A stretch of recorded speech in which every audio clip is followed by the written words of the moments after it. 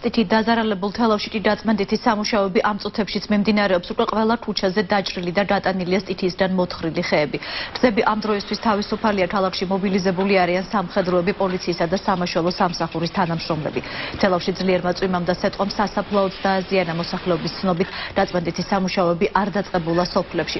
თელავის რაიონის რამგებლის ნუგზარ ხიცაიძის განცხადებით, სპეციალური კომისია ითვლის ზარალს და მხოლოდ ზარალის საბოლოო დადრენის შემდეგ გადაწყდება ვის დაეხმარება სახელმწიფო მისივე ინფორმაციით, კახეთის ენერგოდისტრიბუციამ დაიწყო დაზიანებული გადამცემი ბოძების აღდგენა. სახლები დაგვიზიანა, სახურავი გადახადა, წყლები ჩამოვიდა, ყველა ოთახები გაიმსო. არავინ არ ყოფილა, აი პირველი თქვენ ბზანდებით რომ არავის არ შეუმოწმებია, ეზო სავსეა შიფერით. დღეს რო კიდე მოვიდეს, ალბათ უარესობა დავატყდება თავს. აი ახლა სააკაშვილმა ანაძღაურო საბეს, ხალხი ზანადი, ზანადი ანაძღაურო.